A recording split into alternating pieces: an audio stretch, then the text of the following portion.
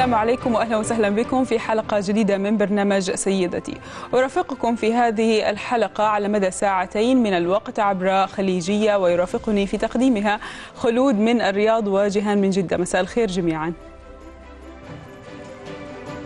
مساء الخير ميسة وتحية طيبة لمشاهدينا الكرام مواضيعنا اليوم متنوعة وتقارير تشمل مختلف الجوانب الحياتية من ضمنها الحديث عن أساليب وأسباب استغلال المرأة لطيبة الرجل. فخليني في البداية قبل التفاصيل أمسي على الزميلة خلود في الرياض. مساء الخير خلود.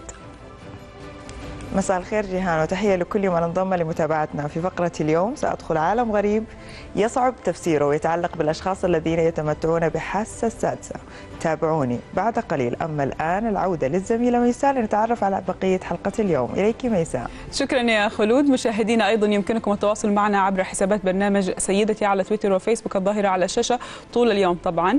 وأيضا مشاهدينا ندعوكم لزيارة صفحات سيدتي نت على تويتر وفيسبوك. وأما البداية كالعادة نذهب مع العناوين.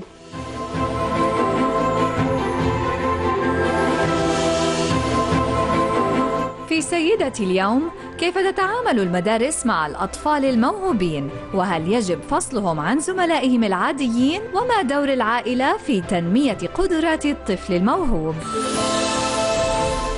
الحب في زمن البوتوكس تجربة كتابية أولى لجهاد التابعي وقضايا المرأة ملونة بريشة الشروق أمين. حياة أحمد راتب بين الحياة والموت فما صحة ما يتم تداوله؟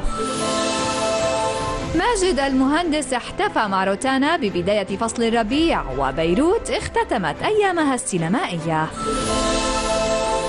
أليساندرو مانديني عرض قطعه الثمين من المجوهرات في معرض آرت دبي.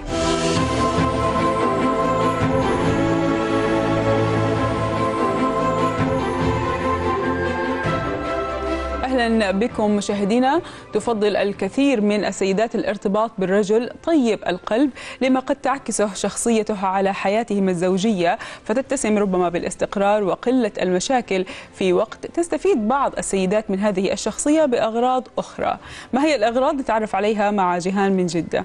جيهان طبعا أنا ركزت إنه بعض السيدات فخلينا نشوف ضيفك الكريم راح ياخذ بعض السيدات ولا راح قديش يقول لنا النسبة ولا قديش الوضع؟ طيب حنشوف مع الدكتور ميسرة طاهر بعد قليل بعد ما نشوف هذا التقرير لأنه كما ذكرتي ميسة أنه في بعض النساء بيستغلوا هذه الطيبة في الرجل للحصول على ما يريدون. خلينا نتناقش بعد التقرير.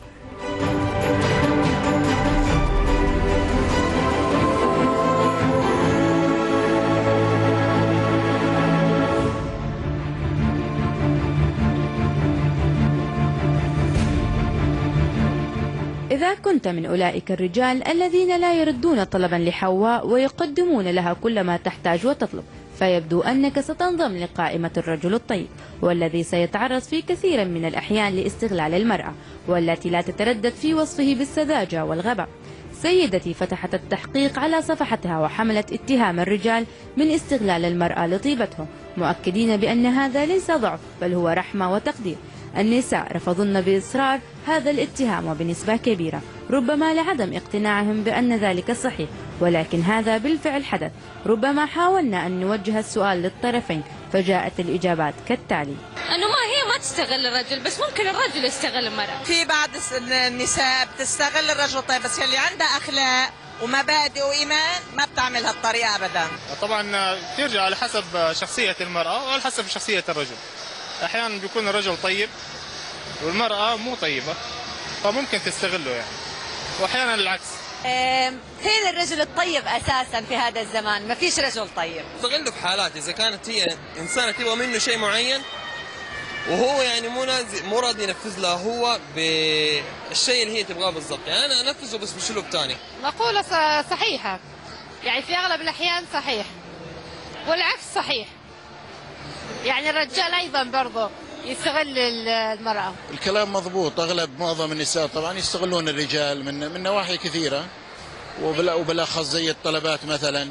آه ممكن يكون فيها يعني حريم يستغلون الرجال الطيبين مرة. طبعا ما في رجال طيبون كثير يعني كلهم واحد بالمية يعني تقريبا. المرأة لا تستغل الرجل الطيب وإنما بعضهم يكمل بعض. لا أنا ضد فكرة أن المرأة هذا المقولة طبعا. لأن المرأة ما تستغل الرجل الطيب لكن في نفس الوقت المرأة ما تحب الرجل الضعيف. مهما اختلفت الآراء بين الرجل والمرأة يظل العقلاء مدركين جدا بأن طيبة الرجل ليست بالضرورة هي مؤشر للضعف. بقدر ما هي قوة متى ما فرطت بها المرأة ستتبدل حياتها رأسا على عقب. لبرنامج سيدتي بشاير نجار جدة.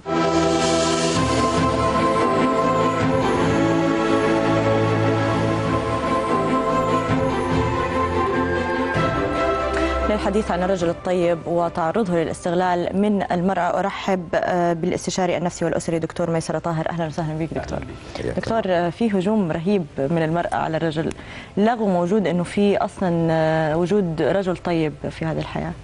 إيش رأيك أنت في؟ أنا رأيي أنه دائما الواحد في تعليقاته يتحدث من منطلق تجربته الشخصية سواء من معاناه هو أو من اللي بيشوفه من اللي حواليه. فيوم اللي تنكر امرأة آه، وجود رجل طيب أغلب الظن حتكون كمية الخبرات اللي شافت فيها رجل غير طيب هي الأساس صح. والعكس صحيح ال- في إحدى الأخوات كانت بتتحدث عن الموضوع باعتباره موضوع باتجاهين يعني في في رجال طيبين وفي نساء طيبات. وفي نساء بيستغلوا هذا الطيب وفي رجال بيستغلوا هذه الطيبة. صح. فهي الحقيقة الطيبة ممكن تكون عند الرجل وعند المرأة ويكون الطرف الآخر مستغلها في سيدة كبيرة كان لها تعليق أنه ال- ال- السيدة اللي آه، تحكمها المبادئ والقيم غالبا لا يعني لا توظف مثل هذه الطيبة توظيفا سلبيا. أنا أميل إلى هذا. وأكثر من كده المرأة الحكيمة والرجل الحكيم يدرك جيدا بأن الطيبة يفترض أنها يتم التعامل معها تعامل يعني راقي. صح. لأن ال- الإنسان الطيب واحد من اثنين. أو خليني أقول بلغة الرياضيات الطيبة بتتحرك على خط مستقيم مهم. بيبدأ من طيبة مطلقة تصل إلى حد السذاجة نعم. وممكن تقولي عنها بالبلدي كده إلى حد الهبالة يعني. ما هو داري إيش اللي بيحصل له أو يا وفي حرام. طيبة لا في يا أيوه حرام بالضبط طيب. هذا ممكن ينقال عنه يا حرام ومسكين وإلى آخره مم. العبارات اللي إحنا بنستخدمها نعم وفي طيبة أخرى لا هو عارف ومع ذلك إيش مسوي مطنش ليه؟ ال- ال- الصنف ده من. ال- الرجال أو النساء الطيبين اللي بيطنشوا ده زي ما يقولوا بعض الناس ده يعني بي- بيمشي بمزاجه. عشان إيش؟ آه عشان إيش؟ إما اشفاقا على؟ اللي قدامه. وأنت دي بتلاحظيها عند الآباء والأمهات. يجيكي ولد يقول لك بابا والله أنا مسكين أنا تعبان أنا جيعان أنا مش عارف. أنت عارفته بكاش وبيعمل الحركة دي عشان ياخذ منك اللي هو عايزه. هنا الأب أو الأم اللي بيمشوا له هم بيمشوا له بمزاجهم. اشفاقا عليه وراعه في- ال- الرجل. وزوجته هو ليه بيمشي لها؟ عشان ما يبغى مشاكل؟ ممكن تكون أحيانا كده ممكن تكون أحيانا لأنه هو مقصر. هو مقصر فيبغى يداري التقصير ده بإيه بقدر أكبر من الطيبة طب لو قلنا هو فعلا طيب دكتور ولا إنه هو بيمشي هو فعلا مشى وفجأة وقف بعد سنوات من التمشية دي حس إنه هو استغل طوال هذه السنين اللي راحت ما ينلام لا إيش حيسوي؟ ما هل. ممكن هل حيصير عدواني ممكن أو شخصيته كلها حتتغير؟ ممكن جدا يعني تخيلي معايا لما انت تكوني أم وعندك ولد أو بنت شباب. وبيحتاجوا وأنت مشغولة جدا ماما أنا أبغى فلوس طب خذ البطاقة وروح اصرف. وروح يصرف قال لك أنا أخذت 50 هو ماخذ 500 هل بعد كم من المرات أنا أعتقد مرة واحدة تكتشفيها حتمنعي عنه دي البطاقة صح. فلما يكون رجل آه، زوج أو أب لأنه هو ممكن يكون بي بي- يقوم بأحد الدورين أو بالدورين معا هو أب وهو زوج أيضا صح. ويجد من زوجته أو من بنته مثل هذا الاستغلال ولفتره زمنية غير قصيرة. مم. ثم في جزئية كمان مهمة لازم نقف عندها أن شريحة من النساء في لحظة معينة لو شوية هو أوقف ال- البزبوز. ممكن تمسح كل الماضي حقه. إنت عمرك ما سويت. اللي إنت عمرك ما أعطيتني. فهو يطالع يشوف يعني بعد كل ده برضي أنا آه، أعامل بهذا القدر من الجحود الكبير. فليس غريبا وليس مستبعدا إنه يشوف منه ردة فعل زي ما يقول المثل يقلب على الوجه الثاني. ويتم التعامل من طرفه معها بطريقة فيها صخب بس فيها معاها ولا هو شخصيته أصلا من ده الرجل الطيب الوديع الحليم؟ نعم أنا معك بعض أيوه. الشرائح. كل المبادئ حقته القديمة والطريقة. القديمة يقلبها. مع كل بالضبط. مو بس هي. فيقوم بعملية تعميم. أنا أصلي تعاملت وكنت طيب صح. وأعطيته. وفي النهاية في النهاية انضحك علي وفي النهاية كأني لم أفعل شيئا جيدا. طب مين هو الرجال الطيب؟ وليه قد كده الس- السيدات شايفين في في زمننا ده إنه ما في رجال طيب؟ يمكن تكون الخبرات اللي بتطفو على السطح ال- الغالب منها الرجل اللي آه، بياخذ أكثر مما يعطي. أو الرجل اللي آه، يبغى يتحكم بهذه المرأة. ولا تنسي إنه العصر اللي إحنا عايشينه هو أنا بتقديري ممكن تسميته العصر الانتقالي. لا المرأة في كثير من الأحيان بكل أسف تقدر تفهم آه، طبيعة الرجل الطيبة والمساحة اللي أعطاها هي. وتستغلها. آه، أو إنه هذه المرأة وصلت إلى مرحلة إنه خلاص أنا الآن وصلت إلى مثلا مرحلة آه، استقلال اقتصادي أنت مالك علي. آه، يعني أخرج من حياتي أو ممكن تتعامل معه بقدر كبير جدا من. الندية. وهذه الأجيال الحالية بدينا نشوف المناظر دي فيها بوفرة. إنه هي أنت بتتحكم فيها ليه؟ هذا حين مقياس المرأة للرجل الطيب اللي هو يمشيها على هواها بالضبط اللي بيديها مساحة من ال- الحرية أي. تكاد تكون بلا نهاية صح فإذا كانت امرأة حكيمة وعاقلة أغلب ظني إذا هو ما رسم الحدود هي حترسم الحدود ليه؟ لأنه العقيل العاقلة والحكيمة هي امرأة تعرف ما لها وما عليها إيش هي حقوقي وإيش هي واجباتي لما أقول واجباتي إذا أنا حسبت حساب مين؟ حق هذا الرجل صح. إنه في عند نقطة معينة أنا لازم أوقف ما اتجاوز إنه هذا رجل، هذا زوج، هذا أب، هذا ينبغي أن أعطيه، ينبغي أن أساند، ينبغي ينبغي إلى آخره. مم. بالمقابل اذا هو ناضج هو لوحده يرسم الحدود. فلا يبغي ولا يتجاوز ولا يطغى ولا يظلم ولا يستغل يعني المسألة أنا ضد أنه يقال الرجل الطيب تستغله امرأة لأنه ممكن أيضا تكون امرأة طيبة تستغل ياما في نساء يستغلوا لسنوات طويلة جدا لا إحنا قياس الاستغلال كمان نسبي يعني يعني ما ما اللي بيصير إحنا معانا أو اللي بيأخذه الرجل كحق من المرأة آه، بيقاس لو إنه هو جاء من الند الثاني بيقاس إنه هو استغلال مع إنه هو نفسه هو بيأخذ نفس هذا الشيء من المرأة بس شوف بيعتبره حق أنا أنا تصوري إنه الآن إحنا في يعني في مرحلة زي ما قلت انتقالية مي واضحة الحدود مم. يعني لا هي واضحة في أذهان شريحة كبيرة جدا من النساء والرجال إيش هي حقوقي وإيش هي واجباتي؟ نعم. أين أقف؟ مهم. إيش المسموح للمرأة أنه هي تعمله وإيش المسموح للرجل أن يعمل وإيش المسموح اللي مو مسموح للمرأة أو للرجل إنهم يفعلوه؟ في حق الآخر نتكلم على صح. العلاقة الثنائية بين الاثنين. أنا أتصور أنه واحد من الأسباب اللي تخلي مثل هذا التجاوز يحصل أو الاستغلال يحصل إنه لا هو عارف فين يقف ولا هي عارفة فين فين يقف. طب مين المفروض يحط هذه الحدود؟ ال- هل هو؟ المعتمدة المرجعية المعتمدة شرع ولا الشرع مع مقاصد الشرع مو الشرع بنصوصه الظاهرية فقط مم. وإنما هذه النصوص الظاهرية تؤخذ وتحلل على ضوء مقاصد الشريعة مم. كي يعرف الرجل وتعرف المرأة من أين يبدأ كل منهما وأين ينتهي مثال إذا سمحتي لي بس أيوه لسه كنت هقول لك أي. المثال آه، فيما يتعلق بمال المرأة مم. فين الحدود اللي تقف فيها يا رجل؟ فين تنتهي؟ مم. مال المرأة ليس حقا للرجل فيه ولا واحد بالمليون. صح. إلا إذا هي يعني عن عن طيبة نفس زي ما نقول أعطته. مهم. الآن إذا إذا أبغى أنظر لهذا الموضوع هناك رجال يعتبرون أن لهم الحق في مال صح. المرأة صح. في رجال ال- البطاقة بطاقة الصراف حق المرأة إذا كانت موظفة معاه مو معاها. فإذا مين اللي يحط لو هذه؟ ما أعطته أو ما ساعدت حتقوم القيامة ممكن حد- تؤدي إلى طلاق. أيوه حيقول إن هي أنانية وإن هي ما بالضبط. بتساعدني. هي- وممكن بعدين يرجع يقول لك إنه آه، طيب مو هي بتاخذ من وقتي ومن وقت عيالي وإلى آخره. وكأن القضية صارت قضية مقايضة. الحدود. الدكتور مش هي تبغى المساواة؟ ولا هي في أشياء وفي أشياء بلا لا؟ شك بلا شك هذا هذا حيفتح علينا باب كبير الحقيقة إذا نبغى نتحدث فيه أه. لأنه مسألة شائكة وفيها صح. كثير من القضايا اللي صارت الآن عائمة مين محددة طب إذا رجعنا ثاني لموضوعنا اللي هو الاستغلال م. متى نقدر نقول بعقلانية من غير أي انحياز لأي طرفين متى نقدر نقول هذه المرأة فعلا استغلت هذا الرجل الطيب إيش الجوانب أقول لك الجوانب كده بالبلدي لو مو في سمحت. مثل يقول إذا كان حبيبك عسل لا تلحسه كله صح.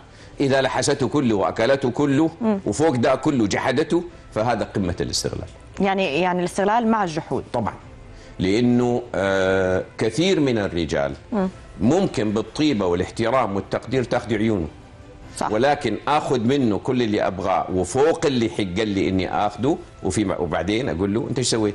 ما كل الرجال بيسووا كده هذه عوامل هذه جمل بيسمعوها الرجال في كثير من الأحيان هي اللي بتسرع ثورته عليها. صح. وبيخليه يقول طب أنا بديك ليه يعني إيش اللي مستفيده أنا صح. إذا بعد كل هذا التعب والشقى والعطاء والكرم والحرية اللي أعطيتك إياها وهي بمساحة كبيرة جدا في النهاية لا حمدا ولا جزاء ولا شكورا. صحيح. طب دكتور يعني أنا بس يعني أبغى أعرف منك إنه كيف ممكن الرجال الرجال الطيب الحليم العاقل الهادئ يحافظ على هذا كل هذه الصفات الجميلة المفروض اللي إحنا بنفتقدها كثير الآن مع كمان إنه هو يعني يكون لسه عنده هيبة لسه هي بتشوفه شيء كبير.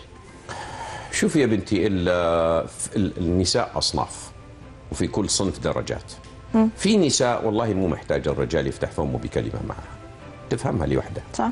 بل وتكون حذرة حتى في تخطي الحدود أو في الاقتراب من بداية الحدود. في نساء لا على رأي المثل يعني المثل فلاحي هو يقول لك ركبناك ورانا على الحمار مديت يدك على الخرج.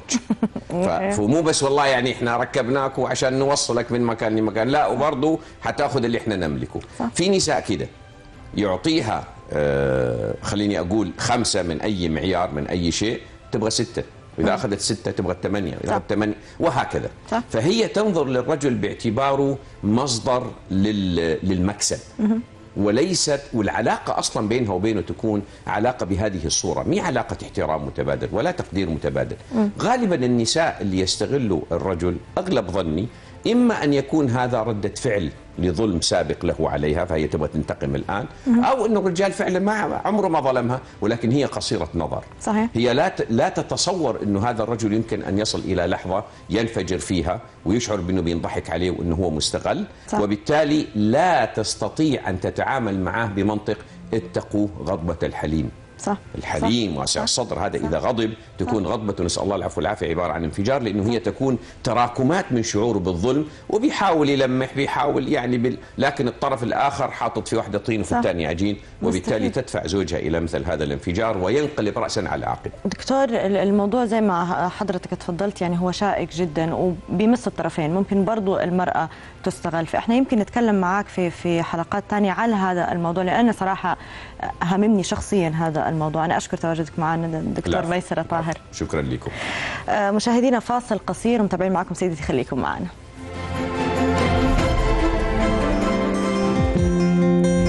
أنت متفوقة معها. والطموحة معها. أنت السعيدة معها. الرابحة معها معها أنت الشابة الدائمة. سيدتي سيدة المجلات العربية. سيدتي نت معك أثناء دراستك. معك في مملكتك. ومجلة سيدتي لكل فرد من عائلتك.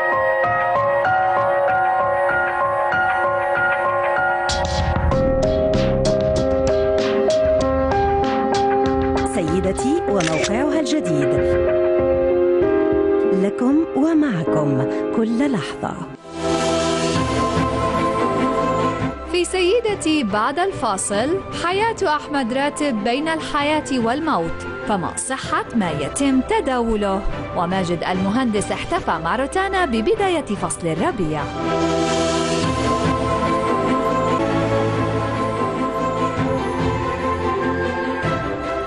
أحييكم من جديد مشاهدينا وهذه جولة على أبرز الأخبار الصادرة اليوم.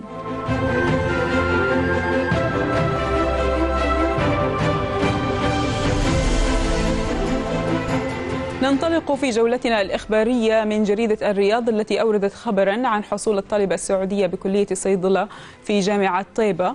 أسماء الحربي على الجائزة الدولية والمركز الأول لبوسترات الطلاب بمشاركتها باختراع جهاز التئام الجروح بمؤتمر ومعرض دبي الدولي للصيدلة والتكنولوجيا الذي شهد مشاركات عالمية وإقليمية ومحلية عالية المستوى.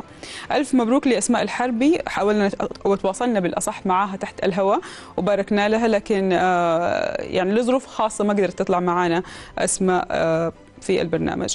عموما حتى في تويتر أخذ شوية صدى الموضوع إنه آم، صحيفة سبق وحتى و- وكالة الأنباء السعودية واس ذكروا الخبر بدون ما يذكروا اسم أسماء فالناس شوية زعلت. بس عموما حق أسماء أكيد محفوظ. عموما مشاهدينا خلينا نروح لخبرنا الثاني من صحيفة الوطن إذ جاء أن نحو 30 طالبة جامعية في جامعة الجوف وجهنا خطابا إلى هيئة الأمر بالمعروف والنهي عن المنكر بالمنطقة. طالبنا فيه بإيجاد هيئة نسائية داخل الحرم الجامعي في خطوة للحد من بعض الظواهر السلبية على حد ما ورد في البيان الذي ضم تواقيعهن وتأتي هذه المطالبة بعد انتشار ظاهرة الفتيات المسترجلات وانتشار الملابس الشفافة والعارية وتصرفات تخدش الحياء داخل الجامعة كما ورد في البيان.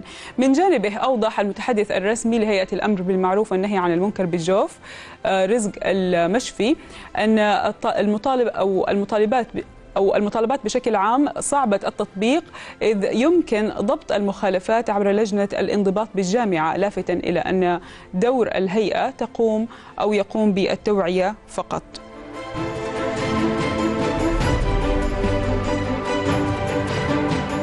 طبعا موقف آه، المتحدث الرسمي من آه، هيئة الأمن بالمعروف كثير موقف آه، يعني جيد إنه هو عرف إنه هذا مو مسؤوليتهم ومسؤوليه الجامعة وهذا الشيء المنطقي الطبيعي.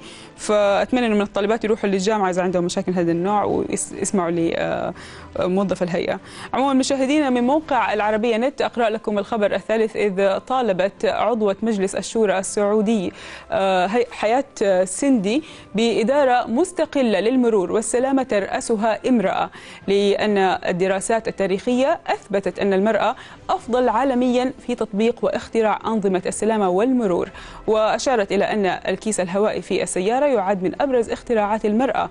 وقالت حياة سندي قبل أن نطالب بحق المرأة في قيادة السيارة نطالب بحقها في أن تكون صانعة قرار. وتحدت من يدلها على شارع واحد في السعودية تنطبق عليه مواصفات السلامة العالمية.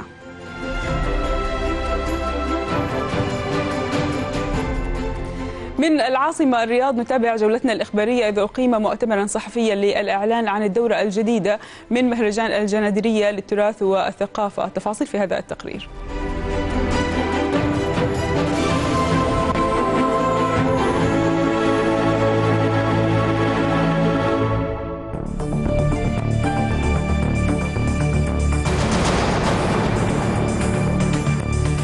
برعاية خادم الحرمين الشريفين الملك عبد الله بن عبد العزيز آل سعود تستعد مدينة الرياض لانطلاق فعاليات مهرجان الجنادرية في دورته الثامنة والعشرين. فقد أقيم ظهر اليوم المؤتمر الصحفي لافتتاح الجنادرية برئاسة معالي نائب رئيس الحرس الوطني المساعد الأستاذ عبد المحسن بن عبد العزيز التويجري. ليؤكد موعد افتتاح الدورة الثامنة والعشرين للمهرجان الوطني للتراث والثقافة والذي سيفتح أبوابه في الثالث من أبريل القادم. فإن المهرجان برسالته التراثية يعد تذكيرا يعد يعد تذكيرا وليس ذكريات فحسب. أي تذكير بما نحن فيه من نعمة كبيرة. مقارنة بحال الماضي لنحمد الله تعالى عليها ونعمل على تنميتها بالشكر لله عز وجل والاستقامة والجد والاجتهاد. مهرجان الجنادرية يأتي في إطار إحياء الثقافة السعودية وإبراز تراثها الثقافي العريق. فلهذا العام تشارك دولة الصين كضيف شرف للمهرجان ويتوقع حضور الفنان جاكي شان كسفير ثقافي لها.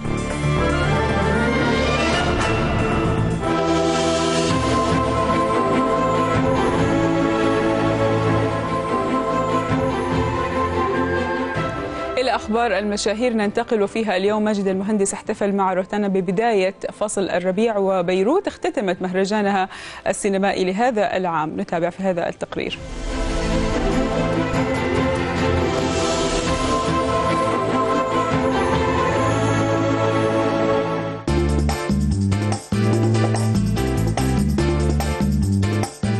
أحيا برنس الغناء العربي النجم ماجد المهندس حفلا فنيا ناجحا في إمارة دبي. وسط استقبال جماهيري حاشد من مختلف الدول الخليجية استمتعوا بأداء المهندس الذي قدم وصلة فنية منوعة بين الأغاني العراقية الشهيرة وأغانيه الرومانسية القديمة والجديدة.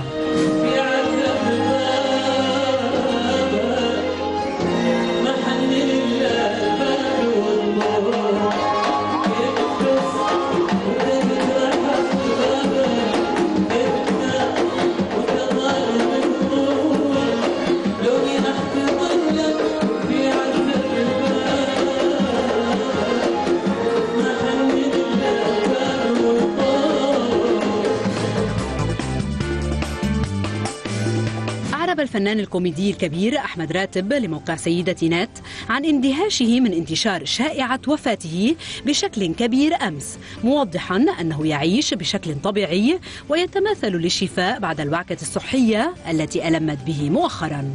وأنهى راتب كلامه مؤكدا أنه لا يخشى الموت. اختتمت في صالات سينما متروبوليس أمبير في بيروت الدورة السابعة من مهرجان أيام بيروت السينمائية الذي تنظمه الجمعية الثقافية بيروت دي سي. وتعتبر هذه الدورة من أهم دورات المهرجان نظرا لعدد الأفلام المشاركة ومواضيعها وصولا إلى الإقبال الإعلامي والجماهيري الذي رافق المهرجان. في إقبال جماهيري على على المهرجان كان خاصه على الأفلام اللبنانية وهيدا شيء طبيعي لأنه معظم الأفلام عم يعملوا عرضهم الأول. فبطبيعة الحال عم بيكونوا كل فريق العمل وأول مرة الفيلم عم عم ينعرض ببيروت فأكيد بيكون عنده غير طعم وغير نكهة. وبعتقد عبر السنين نحن صار عنا إذا بدك جمهورنا صار موجود عم بيجي وعم يحضر. كان البرنامج كمان مساعدنا إنه يكون عنا أكثر أفلام حبيناها. صاير في حركة بالعالم العربي لأنه صاير إذا بناخذ مثل بالأردن وجود الهيئة الملكية الأردنية وهالحركة يلي عم بتصير أو وجود مركز السينما بالمغرب يلي عم بتصير حركة الإنتاج. صحيح بعدها عم بتصير بإنتاج مشترك بس إنه وجود مهرجانات الخليج. في صناديق دعم عم تدعم مثلا الأفلام الوثائقية مثل صندوق أفاق أو شريكنا مؤسسة الشاشة ببيروت. يعني اليوم الحركة كثير مختلفة عم تعطي نتاج أحسن. ونحن كان لنا الحظ إنه نختار من هيدا النتاج. كثير مهمة هذه التظاهرات لأنه بصراحة بتخليك تحس إنه بعدنا بألف خير. بمحل معين يعني كثير صغير وهيدا الشيء مهم. بصراحة هيدا المهرجان كان كثير لذيذ كان في أفلام كثير حلوة. عم بتعالج كثير القضايا العربية اللي عم بتصير حاليا. و... والمفاجأة بالنسبة لي كان الفيلم السعودي اللي كان فيلم الإفتتاح يلي بصراحة كان رائع. وكثير حبيته كثير كثير فيلم لذيذ و... وهيك في إحساس حلو. كل يوم تقريبا كنت عم بحضر فيلم مينيموم أو أكثر عم تابع أكثر شيء الأفلام الوثائقية لأنه عم بيطلع من لبنان ومن الوطن العربي أفلام كثير مهمة بالوثائقي. وأفلام طويلة بعد ما شفت ناطره تنزل بالصالات كرمال لشجع واجي أشتري بطاقتي وأحضر الأفلام بالصالات. مهرجان أيام بيروت السينمائية مهرجان غير تنافسي. والجوائز التي تمنح في ختام هذا المهرجان هي جوائز مادية لدعم المخرجين الشباب. هذا العام منح الصندوق العربي للثقافة والفنون آفاق جائزة بقيمة 5000 دولار أمريكي لمشروع وثائقي لبناني طويل قيد التطوير وكانت من نصيب المخرجة فيروز سرحال. فيني أقول لك أنه أنا أول ما بلشت بدي أعمل أفلام أو, أو ما بلشنا بال career تبعولنا كان حلم كتير كبير أنه واحد يعمل فيلم كان كتير صعب. وهلأ مع كل هدول الأشياء وخاصة مع آفاق يعني هيك بيجيك incentive بيدفشوك يعني بيقولوا لك bravo do it and you will do it يعني. الفيلم بكتير briefly هو فيلم بيحكي عن بيروت. يعني البطلة هي بيروت بكل تفاصيل حياتها حياخد سنة تصوير من وقت ما يبلش التصوير لحتى نقدر نفوت بتفاصيل الحياة تبعولها اللي بنحبها واللي ما بنحبها اللي بتخلينا نتعلق فيها وبتخلينا بدنا نفل منها وبتخلينا بدنا نرجع عليها. فهو عن بيروت.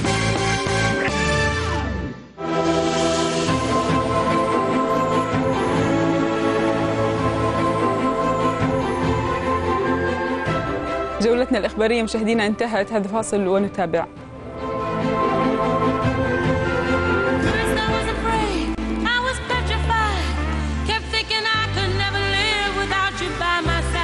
اسمها نوف التقت أمها بعد عشرين سنة من الفراق. اسمها شمس خدعها شاب متهور وأنقذها رجل صالح. اسمها ندى أو وفاء. لكل امرأة حكاية طموح أو دموع أو احتياج أو ظروف صعبة. كيف نجعلها تتمسك بالأمل؟ قصص سيدتي الإنسانية. تنقل لك حكايات واقع صعب وإصرار على بدايات جديدة.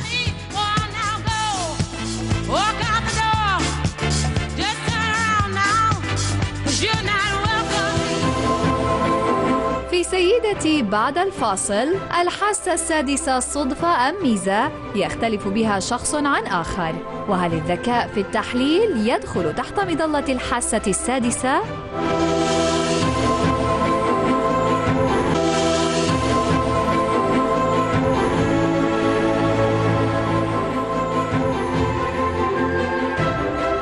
أهلا بكم من جديد مشاهدينا شعور غريب يتملكنا في بعض الأحيان قد يحمل خبرا سارا أو العكس تماما وما هي إلا ساعات أو أيام حتى نرى أمامنا ما شعرنا به. البعض يفسر هذا الموضوع بأنه حاسة سادسة والبعض الآخر يعتبره صدفة.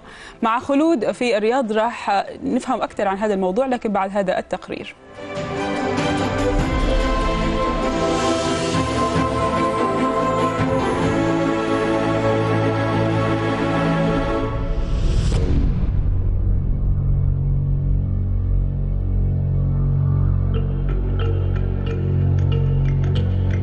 عرفت الحاسة السادسة بأنها إحساس فطري لا إرادي والحاسة السادسة ملكة لا يمتلكها الكثيرون. فبين كل ثلاثة ملايين إنسان يتميز أحدهم بهذه الحاسة. ولوحظ أن النساء يمتلكن هذه الحاسة أكثر من الرجال. دعونا نرى ذلك ونتعرف على الحاسة السادسة لدى ميساء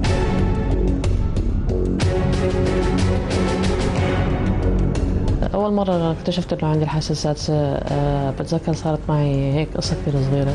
فقلت حاسة حالي ملبكة آه، متوترة خايفة نوعا ما يعني. بس آه، بدون سبب. كنت ملبكة مت- متوترة. ضلت أفكاري تروح وتيجي تروح وتيجي تروح وتيجي وضلتني أفكر إنه شو ممكن ممكن يصير يعني. بعديها تقريبا شي نص ساعة بتذكر آه، صاحبتي بتتصل فيني وبتقول لي إنه صاحبتنا بالمستشفى دخلت على المستشفى وكانت فايتة على كوما صرت ألاحظ إنه قبل ما تصير شغلة أي شغلة تصير معي إن آه، آه، أكتريتها يعني الشغلات اللي مش المنيحة بحس بالخوف بكون متوترة وبضلني أفكر فيها لحد ما الشغلة تصير.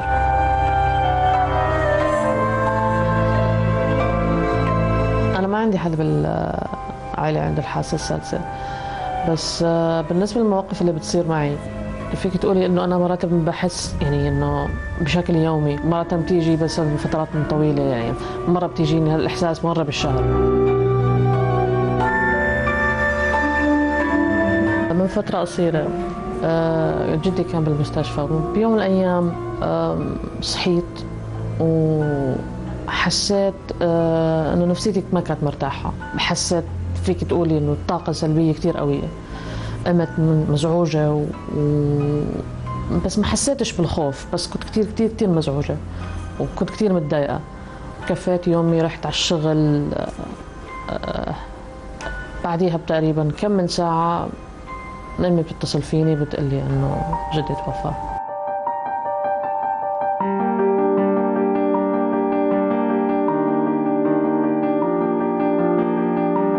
بفضل إنه يكون عندي هذا الإحساس لأنه بتعيشني بالحالة مرتين بصير بدل ما أنا قبل يعني قبل ما تصير هالشغلة بكون أنا اوريدي خايفة ولما بتصير هالشغلة بكون أنا يعني بم- موقف آه، مزعج.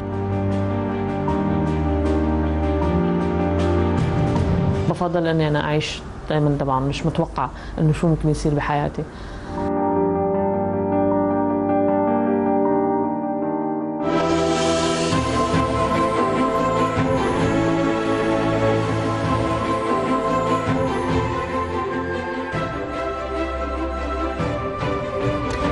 أعزائي المشاهدين والحديث أكثر حول هذا الموضوع ورحب بالعلاجية النفسية الدكتورة شيماء هلال أهلا دكتورة ونورتينا.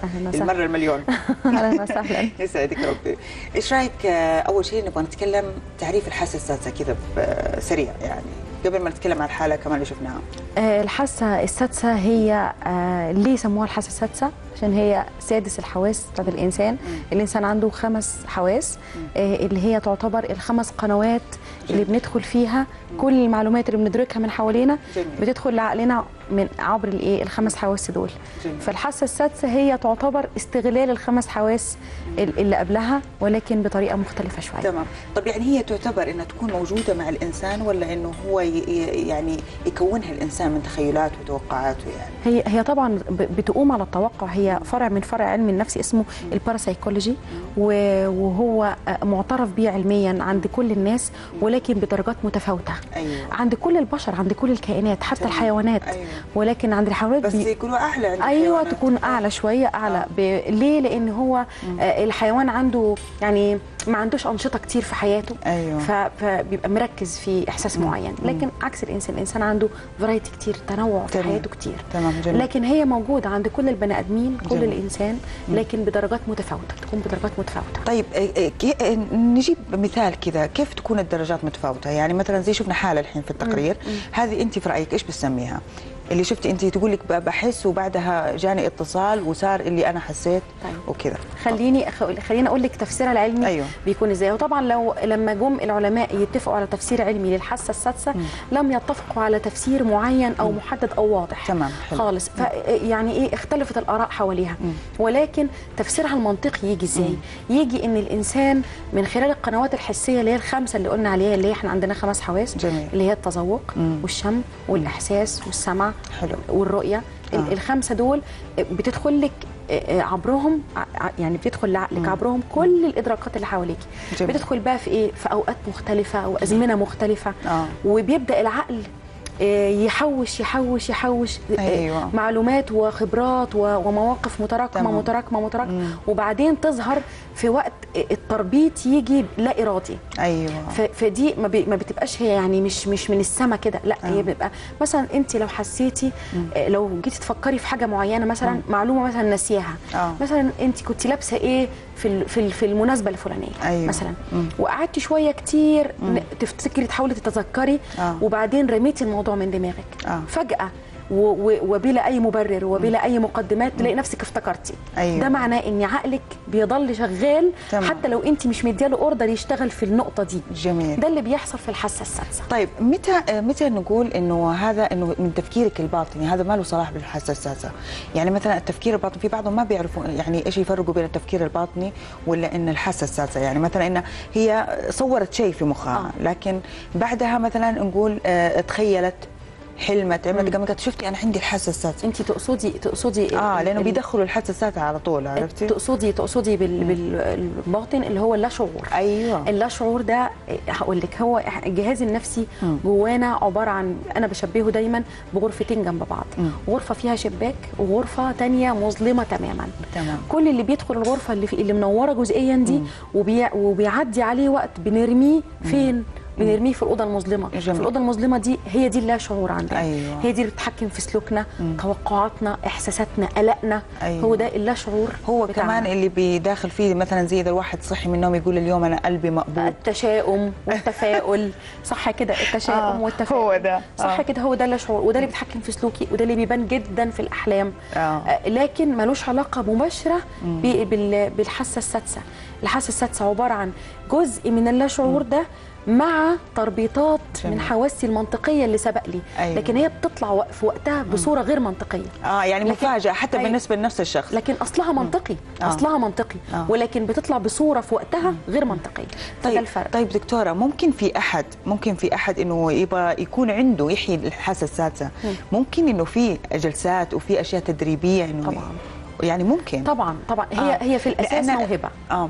هي في الأساس موهبة من عند ربنا. تعريف كلمة موهبة إنها قدرة من عند ربنا الإنسان بيولد بيها بلا تدخل منه. ولكن زي موهبة الرسم وزي موهبة استماع الموسيقى آه، أو تذوق مم. ليها آه، تمارين وليها مم. أنشطة تزودها وتنميها. فأقوى أقوى آه، نشاط يزيد الحاسه السادسه التأمل آه. والتركيز وصفاء الذهن و... وقوة الذاكرة. كل دي العمل على يعني على كده كل اللي. يبغوا الحاسه السادسه لازم يلعبوا اليوغا. يوغا. أيوه. أيوه. ما حد. عندنا بيتحمل اليوغا. ابدا.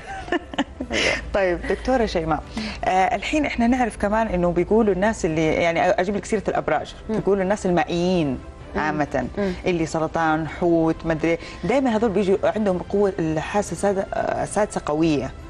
هي, هي حتى بعض الأحيان تضايقهم في حياتهم يعني غصب يعني أحيانا يبغى ما يكون يشعر بالشعور هذا هي لا تتعلق ب- بموضوع الأبراج أو بتاريخ الميلاد قدر ما تتعلق بطبع الإنسان مم. ويمكن طبع الإنسان متعلق بالأبراج ب... ب... على طول م- بطريقة آه. مباشرة لكن الحاسة السادسة مش مباشرة مع آه. الأبراج هي مباشرة مع الطبع طبعي إني آه، قلق عارفة هي آه، يعني زي اللي شفنا في التقرير مم. من شوية آه عندها أصبح عندها من الخبرات السلبية اللي شافتها كتير كتير آه. أصبح عندها قلق آه. فأصبح عندها القلق العام من ال... من أي رن التليفون. فاهمة قصدي؟ آه، فهمت، فهمت، آه. فالخبرات السلبية المتكررة هي اللي بتدي الانطباع بالقلق. طب في أشخاص أنا مروا علي مثلا إذا جلسوا مع شخص من أول مرة أو شيء عندهم خلاص حاسه فظيع إنه هذا الشخص بيفصلونه على طول. أيوه دي يعني- وده يعتبر نشاط أو تمرين لزيادة الحاسه السادسه آه. اللي هو اختبري حدسك يعني أو قدرتك على اشتقاق المعلومة. جميل. فلا لكن ده برضو ما تقدريش تجيبي واحد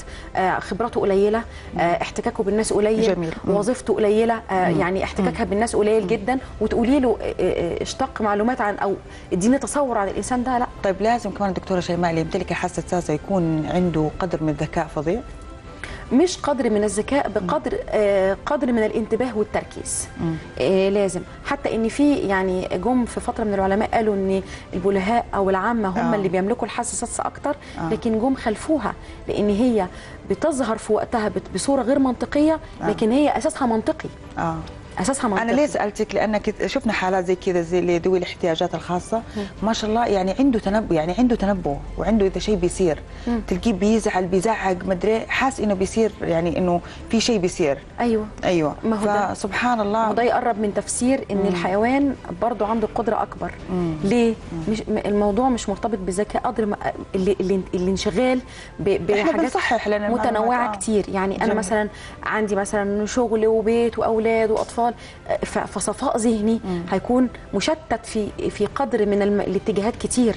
غير لما يكون إنسان أقل بساطة فتركيزه يكون مركز في اتجاه واحد طب دكتورة شيماء أنت تعرفين إحنا طبعا الإنسان يحب الفضول يحب كل شيء يمتلك جميل. نصيحتك الأخيرة للناس اللي بيمتلكوا الحاسه السادسه آه، الناس اللي اولا لا لا يسيطر على القلق. ودايما إحنا عندنا أمل إن خبراتنا السلبية تعدي وخبراتنا اللي جاية تكون إيجابية أكتر. والحاسة السادسة جميلة لو بصينا لها من ناحية منطقية آه،. بتنبؤ أو نوع حتى إن التنبؤ أو التوقع دي مهارة من مهارات التفكير العليا. جميل. ودي اللي, اللي بتفسر الحاسة السادسة تفسير دقيق. فكلنا نسعى ل- لتزويدها هيكون لطيف. سمعتوا سيداتي؟ يعطيكم العافية. إحنا نشكر الدكتورة شيماء هلال وانت دائما منورتنا دكتورة. الله يخليك وعليكم باليوغا. أنا عارفة إنكم ما بتسووها بس يلا. الآن زي العادة فاصل وواصل برنامجنا سيدتي.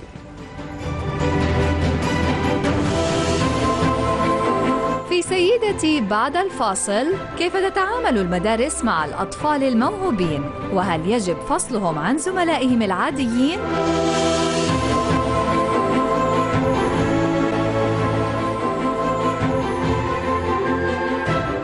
أحييكم من جديد مشاهدينا ونتابع فقرات سيدتي من آه، أو مع فقراتنا الأسبوعية في المدرسة وفيها اليوم إضاءة على الأطفال الموهوبين وكيفية التعامل معهم. هذا التقرير أولا ثم نعود للحديث.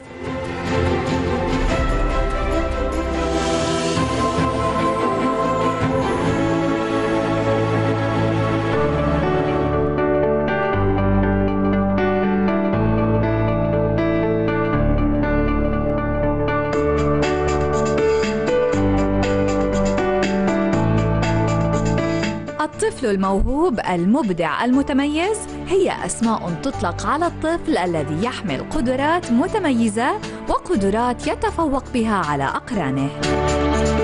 أنا أهوى الغناء والتمثيل ومنذ أن كنت في الصف الأول وأنا أشارك في احتفالات المدرسة مما ساعدني في التغلب على أي صعوبة في تواجهني في القراءة والإلقاء. أنا بحب السباحة وأنا بدأت السباحة لما أنا كان عندي سنتين وأنا عندي عشر سنين. جبت جوائز كتيرة ولسه بمارس السباحة كتير.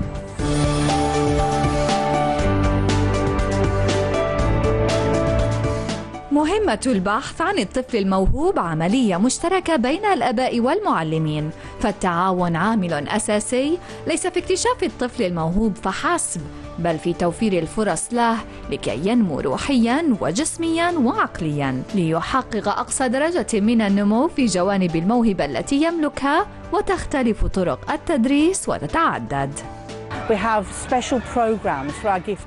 لدينا برامج خاصة للأطفال الموهوبين بحيث يقدم المعلمين نشاطات بمستويات عالية تحفز الأطفال بشكل فردي في الفصل. أما للأطفال الأكبر عمرا فنحن ندربهم على الأعمال الحسابية بشكل خاص. ولدينا مناهج دراسية وأنشطة إضافية محددة مثل الفن والسباحة بحيث نقدم المساعدة للأطفال للتطور إلى المستوى الأفضل. So that children really are helped to develop their talents up to the next level. نحن نعمل منذ بداية العام الدراسي على اكتشاف حاجات وقدرات التلاميذ فنقوم بعمل اختبارات تشخيصية لهم نتعرف من خلالها على القدرات التي يملكها كل تلميذ ثم من بعد ذلك نبدأ بوضع الخطط آه، وتصميم الأنشطة اللازمة حتى نرقى بمستوياتهم. فمثلا الطالب المتميز نأخذ بيده ليكون أكثر تميزا. أما الطالب ال- ذو المستوى المتواضع أو الطالب بال- بالمستوى الضعيف فنعمل آه، على تشجيعه لإبراز قدراته وتطويرها آه، مما يحسن من مستواه. وراء كل طفل مبدع معلم متميز. فإبداعات الطفل تدلل على قدراته التي وهبها الله له ولذلك يجب أن يكون المعلم هو المصدر والملهم والمشجع للطفل الموهوب. لاحظت معلمتي قدرتي على الإلقاء والمحادثة فعملت على تعزيز هذه المهارة من خلال إشراكي في حفل عيد الاتحاد. وبعض وبعض وقيامي ببعض العروض الصفية لزملائي في موضوعات مختلفة. نحن على دراية بمستوى أي طفل لدينا في أي وقت من الأوقات لأن جميع مستوياتهم وإنجازاتهم يتم تحليلها بعناية فائقة. وجنبا إلى جنب مع الموظفين نحلل النتائج ونخطط الأفضل لكل طفل. طرق متعددة تساعد على رعاية الموهبة الأكاديمية والفنية عند الأطفال وتنميتها. فالطفل الموهوب رجل المستقبل وليس المطلوب سوى الإعداد لهذا المستقبل.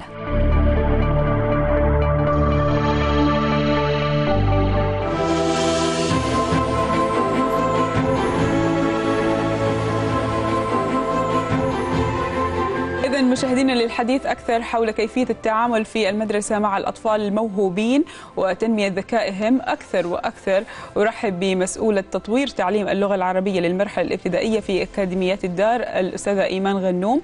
وتنضم أيضا إلينا السيدة هبة الأسدي والدة الطالب الموهوب رياض. أهلا وسهلا بكم معنا. أهلا وسهلا بك آه خلينا أبدأ مع أستاذة إيمان. آه، أبغى أسألك آه، متى ممكن نقول إنه الطفل موهوب؟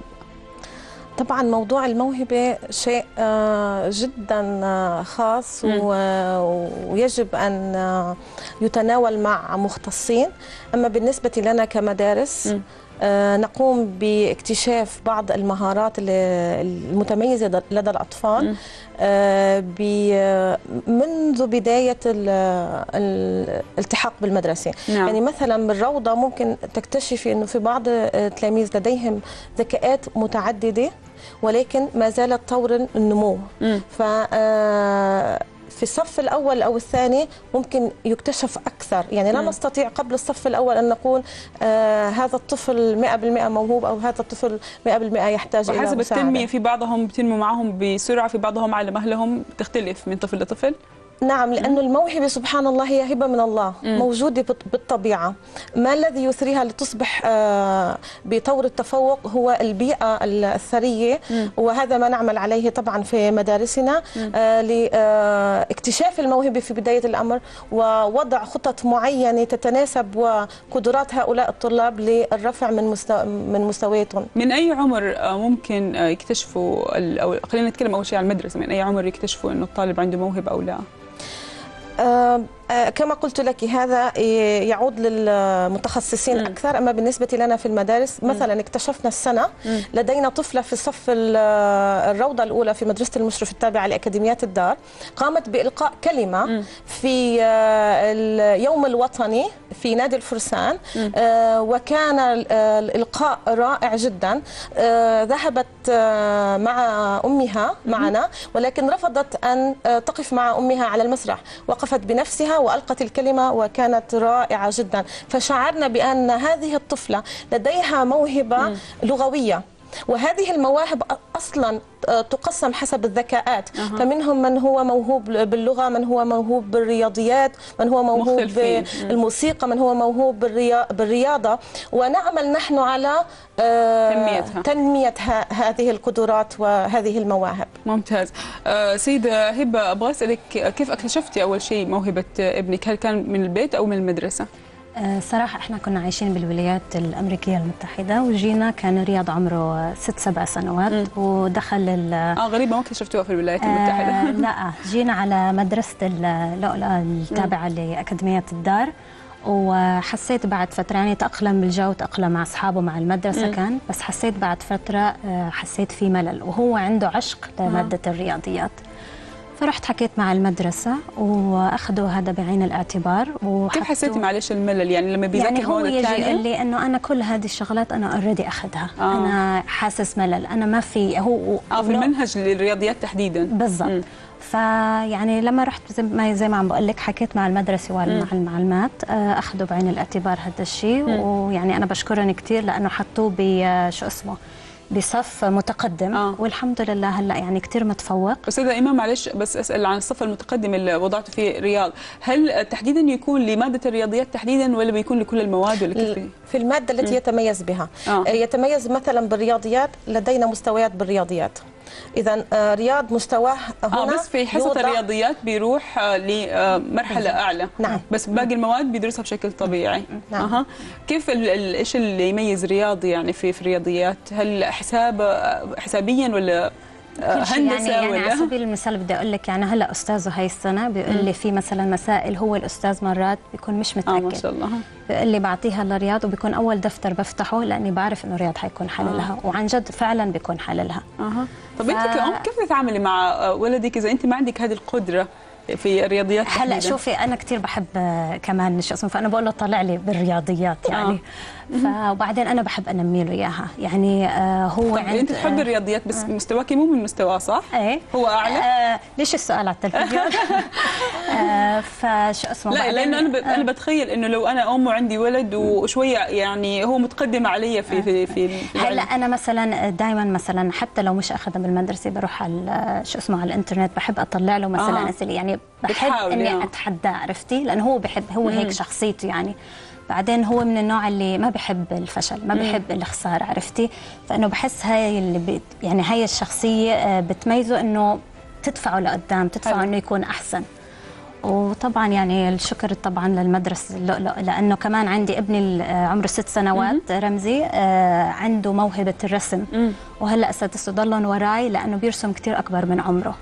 فهلا يعني ضلهم وراي لحطيته بمعهد برات المدرسة أها. عشان أنمي له هذه الموهبة جميل أستاذة إيمان أبغى أسألك هل يعني في اختبارات محددة بتعملوا لهم هي بعد ما تكتشفوا إنه هذا الطفل عنده موهبة معينة في اختبارات يخضع لها؟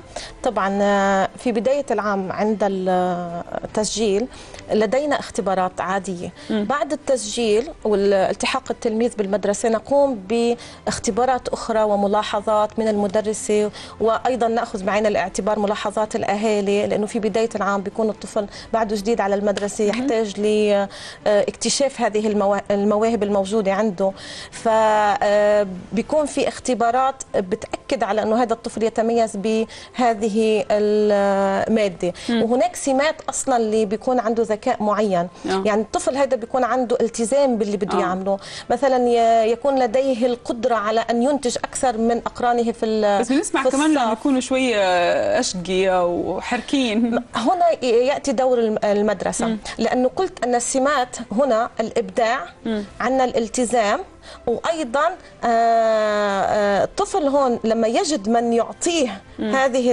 آه، الأنشطة التي تثري آه، هذه المهارات فتتجنب كل هذه المشاكل. ولا نأخذها بشكل سلبي بل بشكل إيجابي. وأردت أن أعقب على شيء. مهم بالنسبة للأستاذة آه، الأستاذة هبة.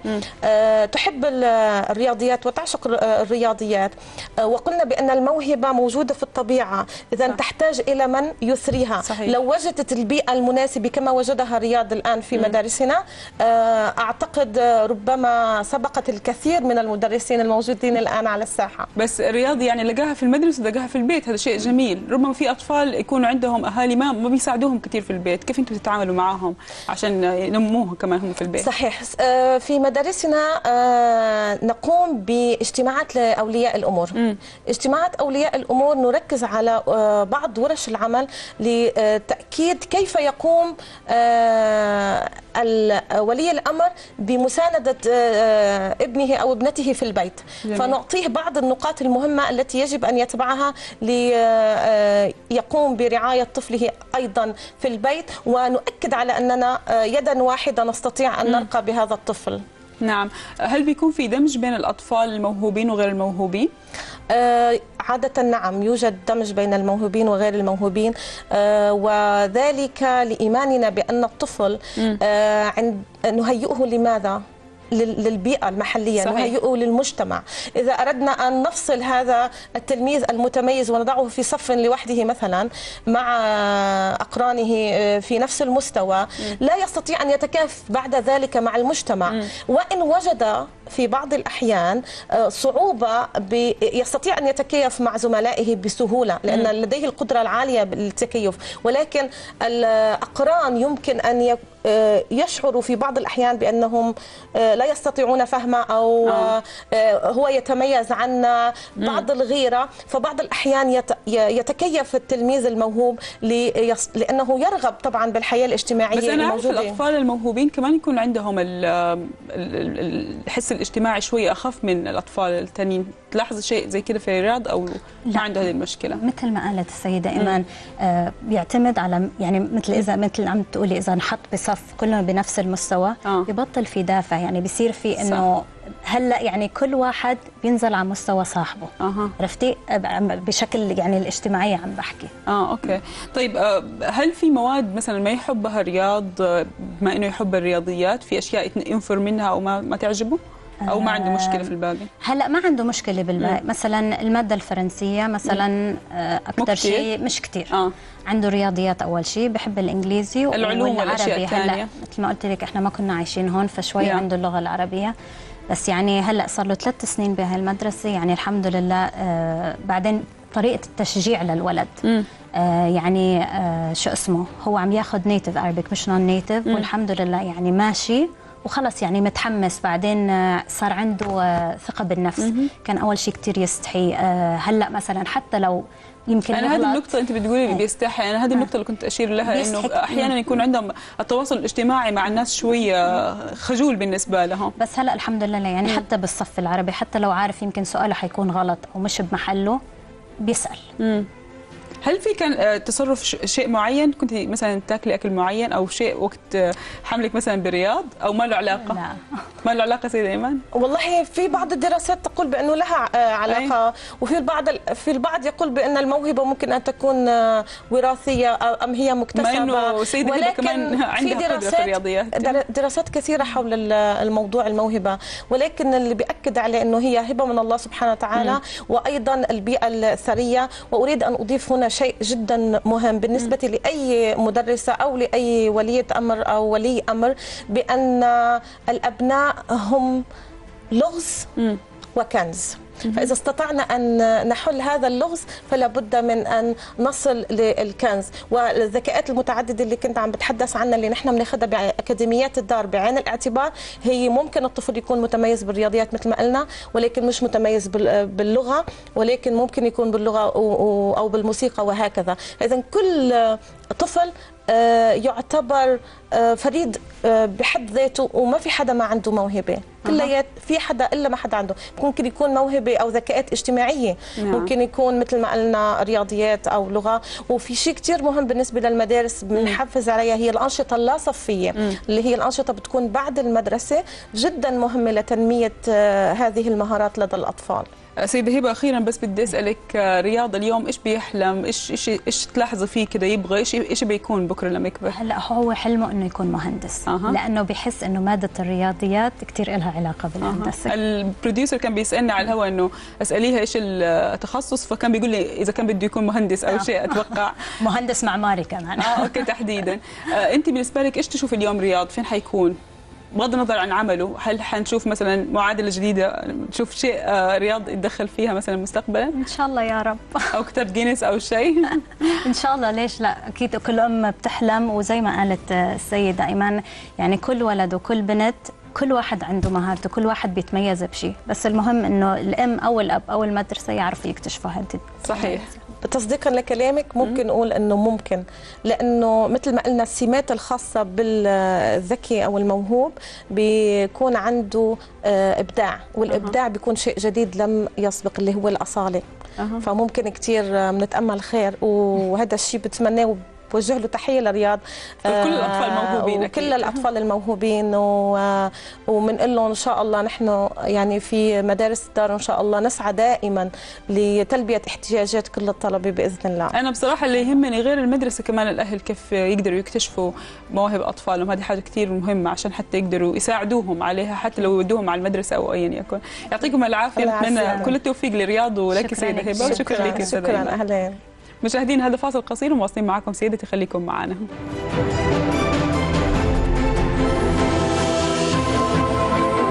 في سيدتي بعد الفاصل الحب في زمن البوتوكس تجربة كتابية أولى لجهاد التابعي وقضايا المرأة ملونة بريشة الشروق أمين.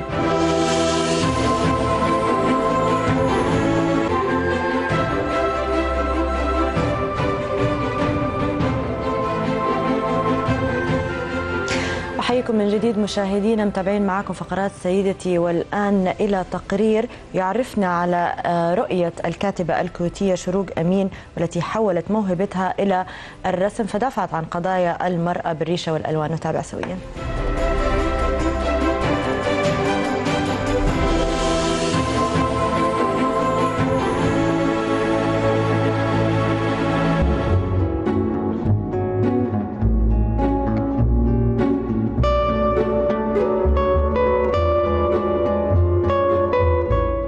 عندما تقرر المرأة أن تعبر عن كل ما يؤلمها من قضايا ويحرك ما بها من أنوثة وأمومة لتجتاز بإنجازاتها تماما كالكاتبة والرسامة الكويتية شروق التي جعلت لقضايا المرأة ريشة ولون. أنا كنت أرسم مجرد كتعبير بعدين مريت بمرحلة اللي خلتني آم، أشوف الفن بطريقة مختلفة اللي هو مرحلة ال- الطلاق. لما مريت بمرحلة الطلاق شفت نظرة المجتمع للمطلقة شلون؟ شفت آه، غضب العائلة أن ال- المرأة تطلب الطلاق شلون النظرة؟ أن عندك أطفال آه، أن حياتك انتهت. بالنسبة لمجتمعنا المرأة بسن الأربعين وعندها أطفال خلاص حياتها انتهت. فأنا هالأشياء هاي كلها صرت آه، وايد أثرت فيني. فصار يطلع باللوحات. وكان أول آه، مجموعة اسمها Society Girls بنات المجتمع. وركزت على الامرأة الخليجية بالمجتمع. وكان معرض ناجح واستلمت فيه قضايا المرأة. هاي أول يعني أول مرة أستلم قضايا اجتماعية وسياسية ودينية باللوحات. من زواج القاصرات وقضايا الجنس والرقابة وقمع الحريات وسلطة المرأة كلها قضايا قررت السيدة شروق تسليط الضوء عليها من خلال جولة على أهم لوحاتها التي شرحت لنا تفاصيل وأسباب رسمها لهذه القضايا.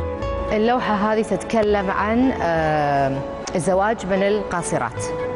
وهي آه، يعني موضوع وايد مهم عندنا آه، بالمنطقة. أنا طبعا أسمع كلام دفاعا عن على هالعملية هذه إن هذول الرجال آه، قاعدين ينقذون هالبنات من الملاجئ ومن أماكن الحروب وما عندهم أهالي وينقذون يتزوجونهم وينقذونهم أنا بالنسبة لي إذا فعلا النية صافية ويبي ينقذ البنت يتبناها ياخذها كبنته يربيها ويعلمها مو كزوجة. بالعكس هذا شيء راح يدمرها. هذه إنسانة تدمرت الحياة. خلاص. فاللوحة آه، تبين حتى آه، تشوفين الرجل واقف وماسك البنت الصغيرة وهي من من لغة الجسم يبين إن هي خايفة. وأنا حطيت له القناع اللي آه، كأنه هو وحش إنه هو راح يفترسها.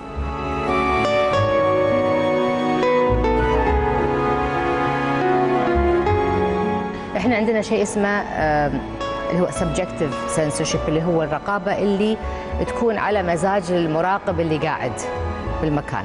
إذا كان فيلم على حسب الشخص اللي قاعد يسوي الرقابة. إذا كانت مجلة وبيغطون إيد ولا بيغطون رجل الر- الرجل على على مزاج الشخص اللي قاعد يسوي الرقابة. فأنا اللي قاعد أقوله أوكي لازم في شوية رقابة أكيد. بس خلي الرقابة تكون موحدة. ليش ما عندنا مجلس للشرق الأوسط آه، يحطون رقابة موحدة لكل البلدان بطريقة منطقية.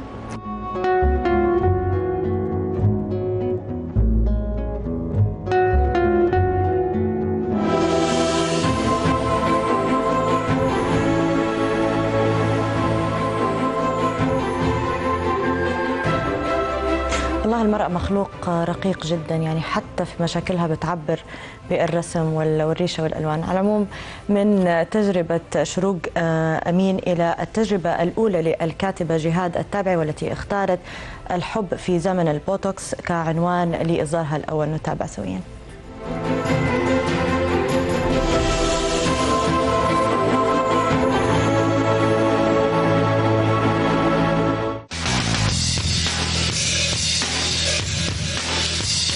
من قلم يهوى الكتابة ويستحوذ على إعجاب من يقرأها على مواقع التواصل الاجتماعي إلى كاتبة محترفة تتحدث عن الحب في زمن البوتوكس. رجعت للحاجات اللي كتبتها زمان كتبتها وأنا في ثانوي والحاجات آرائي في الحاجات آه لقيت إنه ممكن أجمع ده في كتاب لأني لقيتني آه عندي خط إن أنا معترضة على الاصطناع في المجتمع. إن كل حاجة مصطنعة. الحب في زمن البوتوكس يتناول مواضيع جريئة برؤى شبابية لا حدود لحريتها. بوتوكس هو زي السيليكون كده مادة تجميلية آه بتتحقن في الوش عشان تخلي شكله آه، شباب تعيد شبابه تاني بس بيبقى آه، يعني إحنا بنشوفه كتير في التلفزيون مثلا الممثلات اللي عاملة بوتوكس بتبقى بت بتتكلم وبتعيط وبتضحك وبنفس التعبير بنفس الوش وشها ما بيتحركش ما بتقدرش تصدقها. ده موجود في حاجات كتير في حياتنا في السياسة في الفن في ال- في الحب في كل حاجة. اتكلمت عن الحب بس بشكله الموجود دلوقتي إنه من بره بس يعني ما محدش من جواه بيبقى عارف هو بيحب ليه أو عايز إيه من الحب ده كله بيبقى عايز يعمل علاقة وخلاص. يعني اتكلمت عن حاجات كتير بجرأة اتكلمت في العادة السرية بس آه، من وجهة نظر شبابية بحتة ما اتكلمتش من وجهة نظر طبية. ما خفتش الناس تقول عليا قلة الأدب لأنه آه، لما كل واحد بيقعد بينه وبين نفسه بيسأل نفسه الأسئلة اللي أنا بطرحها هيلاقي إن هو بيعمل آه، آه، معظم الحاجات اللي موجودة في كتابي هو يعملها يفكر فيها.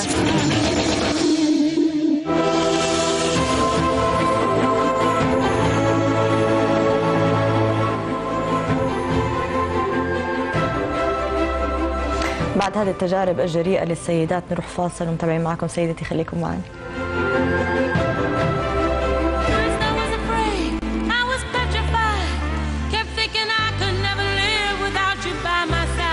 اسمها نوف. التقت أمها بعد عشرين سنة من الفراق.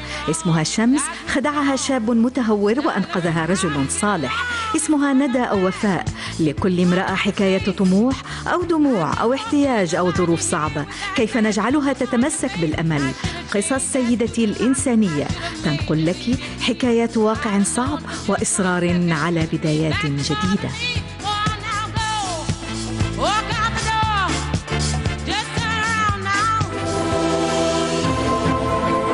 في سيدتي بعد الفاصل أخبار مواقع التواصل الاجتماعي وجولة على صفحات سيدتي دوت نت.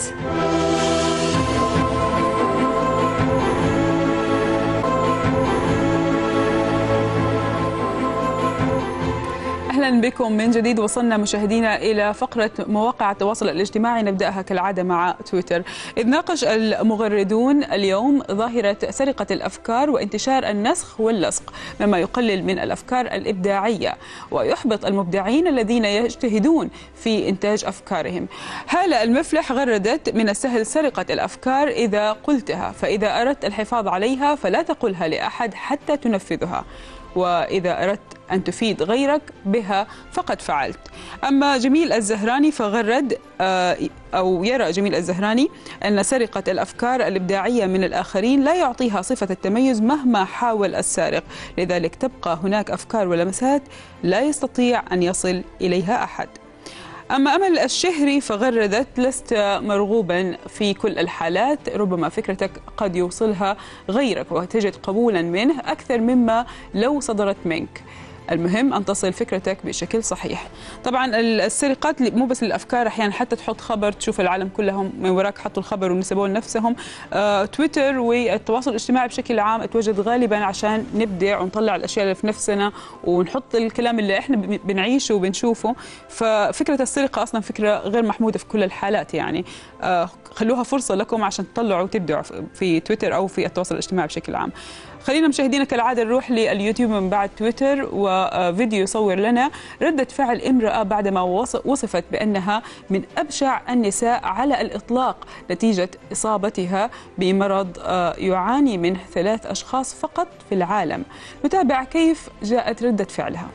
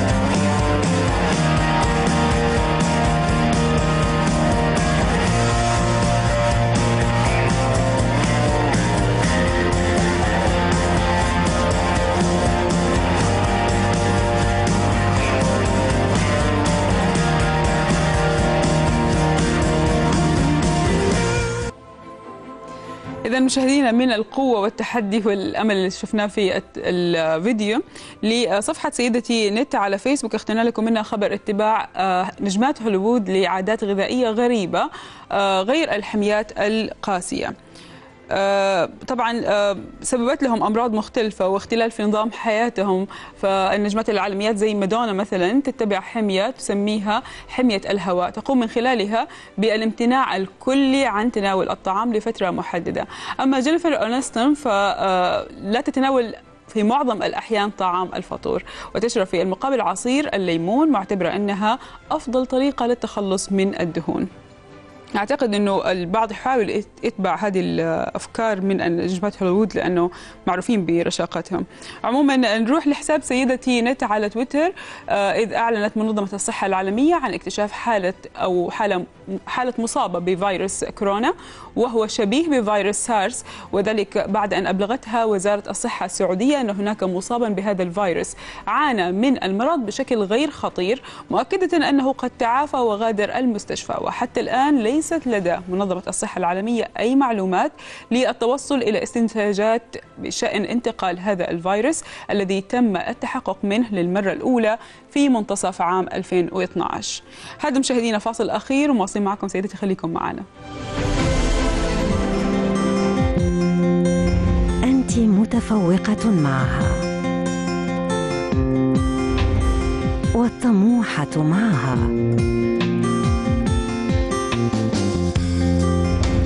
السعيدة معها. الرابحة معها. معها. أنت الشابة الدائمة. سيدتي سيدة المجلات العربية. سيدتي نت معك أثناء دراستك. معك في مملكتك. ومجلة سيدتي لكل فرد من عائلتك.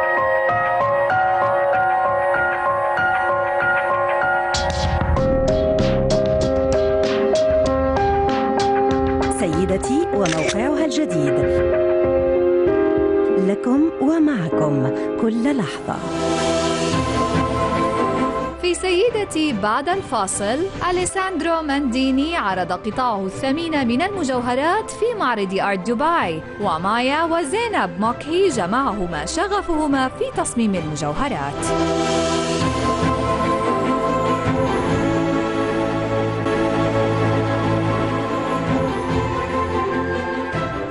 أهلا بكم في القسم الأخير من سيدتي لهذا المساء. عرضت دار كارتيه على مدار أربعة أيام متواصلة حوالي 50 قطعة ثمينة لمصمم المجوهرات الإيطالي أليساندرو مانديني. كاميرا سيدتي زارت المعرض وعادت بهذا التقرير.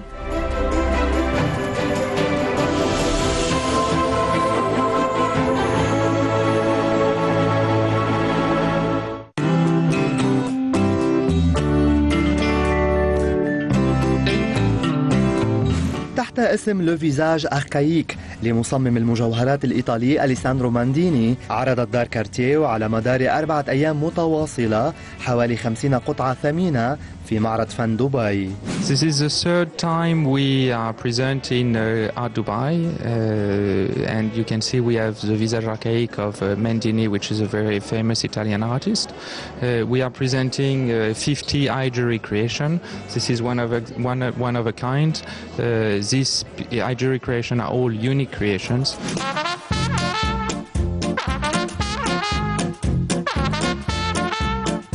you look at this necklace, for example, this Panther necklace, takes several months to do such a piece, uh, and that's why we consider that our creation are a piece of art. Uh, there are over 2,300 diamonds on, on, on this necklace, and when you consider that it takes just to set the diamond over 15 minutes per diamond, you can imagine the time and the know-how which is needed. تربط دار كارتيه علاقة وثيقة بمنطقة الشرق الأوسط نظرا لاستيعابها كل ما هو جديد ومميز في عالم صناعة المجوهرات الراقية We have been present in the Middle East for over 10 years. We, we, we are present in every major country and every major city in the Middle East. Uh, we believe that there is a, a lot of potential in this region, and it is our duty uh, to ensure that uh, the local clientele receives the same service, whether you are in Dubai, in Abu Dhabi, in Riyadh, in Jeddah, or London, or Paris, in New York. So we, we are aiming for proximity and excellence while keeping a very high level of desirability for the maison.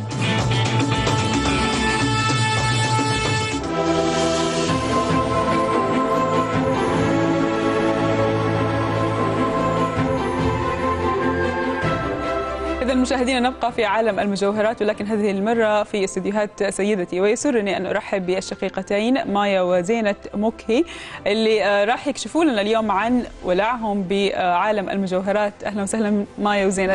أهلا. فيك؟ آه، يعني أول حاجة آه، تحت الهواء كنا بنتكلم فكنت تفاجأت إنه عندكم التاتش الهندي كتير آه، واضح في أنا شايفة الحلق اللي لابسينه. قديش مهم إنه آه، ناخذ من الثقافات اللي من برا في المجوهرات وقديش إحنا ممكن نتقبلها في العالم العربي. هلا هو كتير مهم. هلا نحن ثاقبت إنه نحن آه، الوالد من الهند والأم من لبنان. ف واثنيناتهم جوهرجية. فكبرنا بهيدا الجو تبع مزج الثقافتين إذا بدك. حلو. و- ساعدكم؟ الشيء كتير. هلا آه، ساعدنا لأنه بنتميز بهيدا الشيء بنخلط كمان الستايلز بالمجوهرات. وقد العالم بيتقبلوه أول شيء ما كان عندهم كثير كانوا ينقزوا لأنه معودين أكثر على المجوهرات الكلاسيكية صح.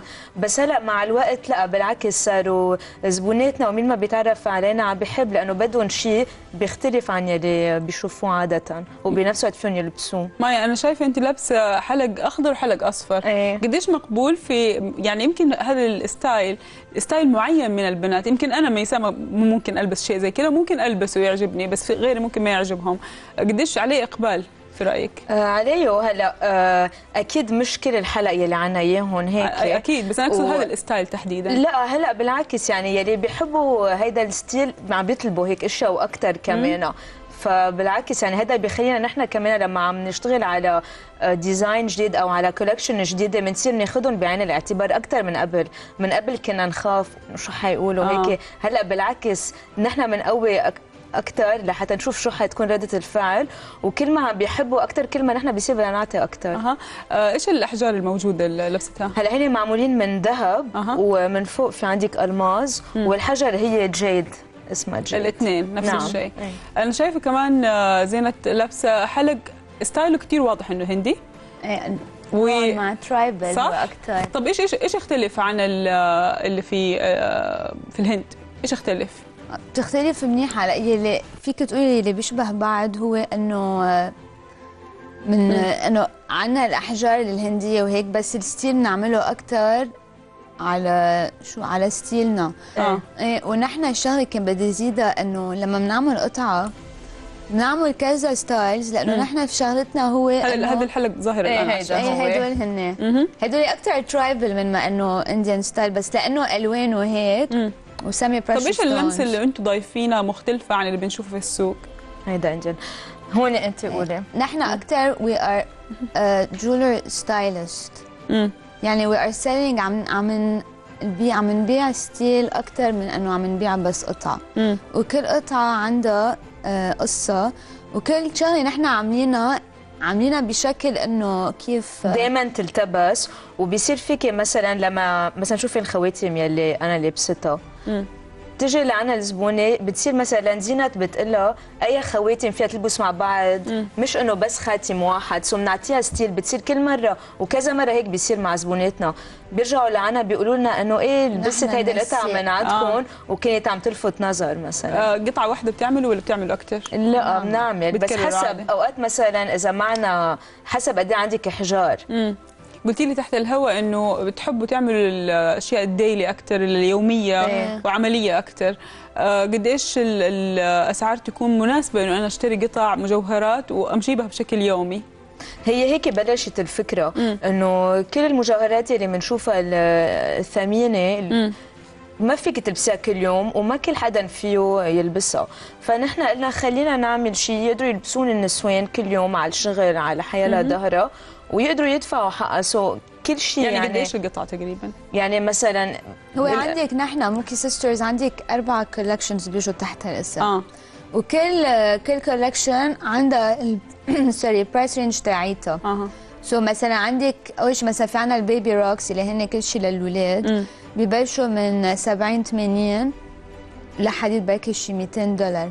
حلو. في عندك Ever Yours اللي كل شيء كلاسيكي ال range تاعيتها بين 500 700 بس أعلى قطعة بركي بشي 2000 دولار. انه. حسب ال collection أها. في عنا collection تالتة اسمها Contagious هون وين ما نحن فينا نعمل شو ما بدنا. بنجيب حجرة بنخليها تكون ترند إنه ما عنا limits شو ما بنعمل شو ما بدنا نصمم بنصمم أها. مثل هدول الحلقات هن تحت Contagious أها. بيتصمموا كيف إنه مثلا أنتم ثلاث أخوات قلتوا لي. حتى في آه، أختكم مينا. مينا. مينا. آه، بيتصمموا كيف بالاتفاق؟ مثلا أنا عجبتني هذه الفكرة ولا ولا أنتم أصلا في بينكم خيط مشترك إنه مع بعض؟ هذا كثير حلو هذا السؤال.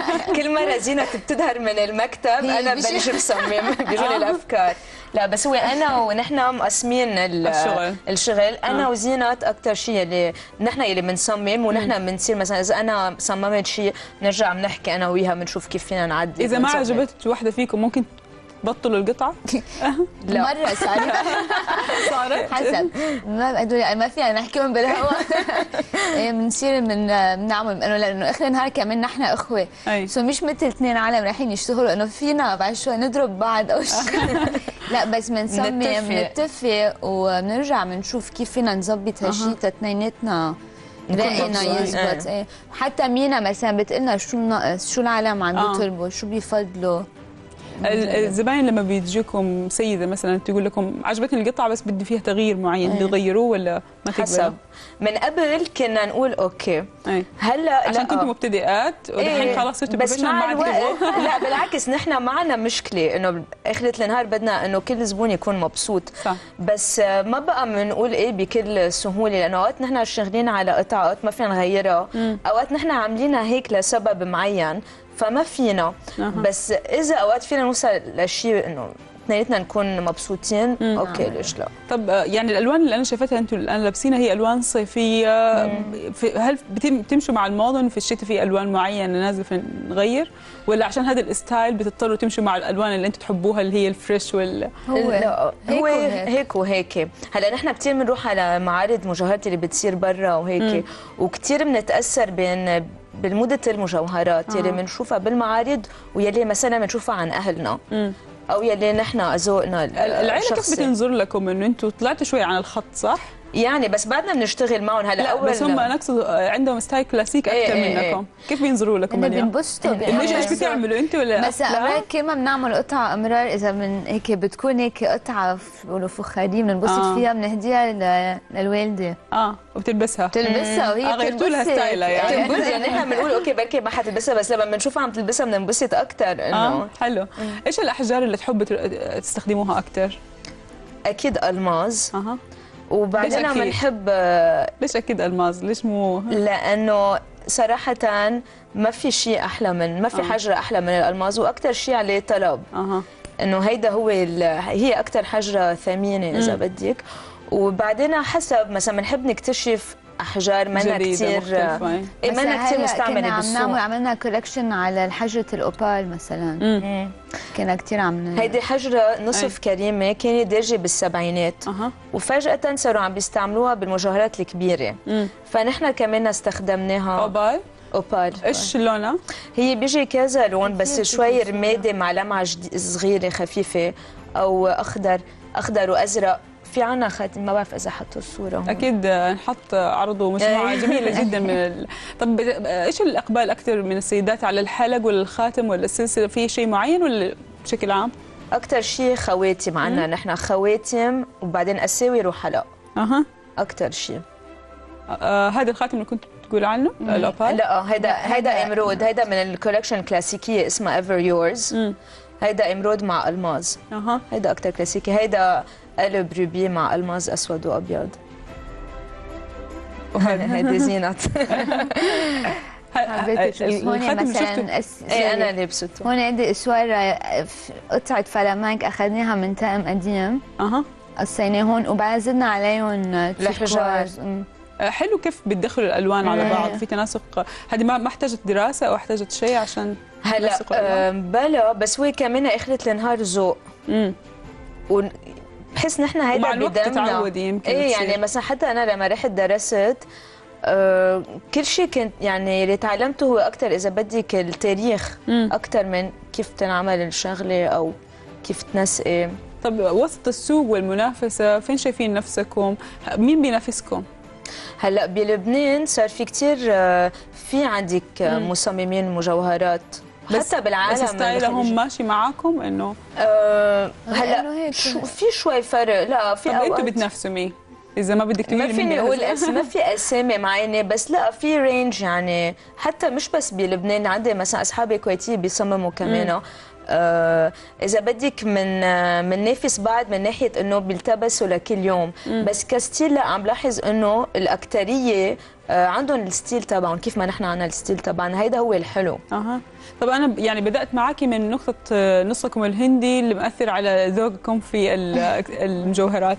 أبغى أسأل إنه آه، مع هذا ال- ال- ال- النص الهندي كيف بتلاقوا الفرق بين المجوهرات أو أو ال style العربي وال style إيش إيش اللمسة المختلفة بينهم الاثنين؟